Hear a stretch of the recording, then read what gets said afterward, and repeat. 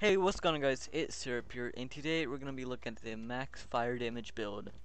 Uh, sorry I haven't been uploading, I just didn't feel like editing at all. so, in this build, we have 7,484 health, 390 mana, we have 199 damage. It's possible to get 200, but you lose too much pip chance. I can show you that in a second. We have 28 resist, 36 accuracy.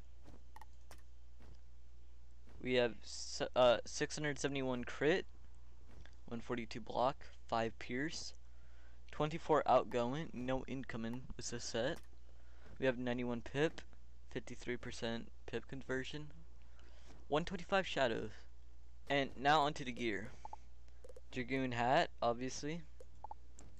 Tenny robe, given. We have Dragoon's boots. Fossil Avenger Skull Crusher. We also have Edge of the Shadow Web.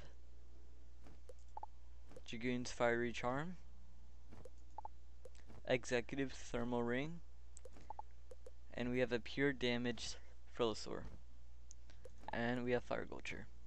You can get 200 damage with this setup but you lose too much pip. You get 77 pip chance, but 200 damage, and 8,000 HP.